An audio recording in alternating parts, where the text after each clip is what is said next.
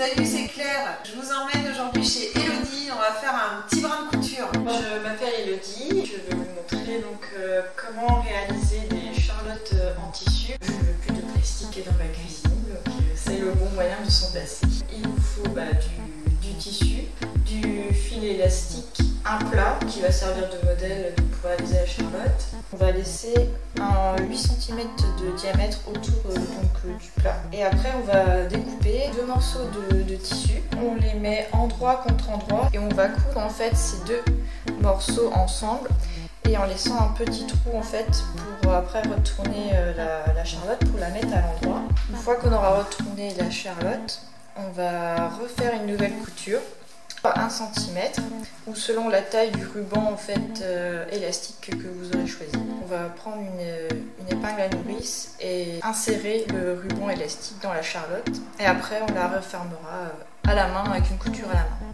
Les aliments ne s'oxydent pas, ne sèchent pas, il n'y a pas besoin d'aller aux courses euh, racheter continuellement donc euh, du film plastique ou de l'aluminium et ça vous fait des déchets en moins. Ça fait au moins 4-5 ans que je le lisais. Donc après il suffit de les laver de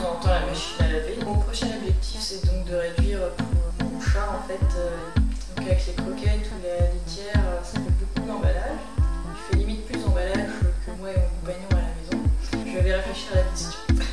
Y'en a marre du plastique Y'en a marre du plastique